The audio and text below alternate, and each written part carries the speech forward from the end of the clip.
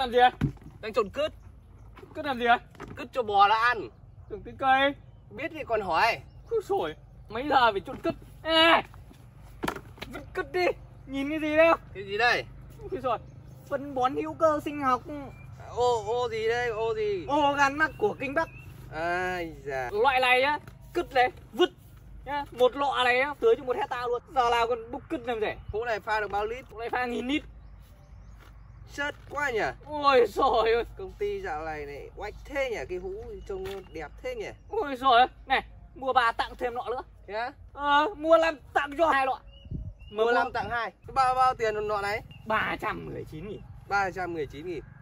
Mua 3 tặng 1 Mua 5 tặng 2 Đúng. Mua 10 này tặng 5 Tặng năm cho thêm lọ hỏa long. Hỏa long là cái thuốc gì? Diệt quả một lít À. Tôn cái vạn lần cái cứt này luôn. Nhưng mà mua kiểu gì Mua thì để lại số điện thoại. À, Để lại số điện thoại ở đây nhá các bác. Sẽ có chuyên viên tư vấn cụ thể cho nhà mình.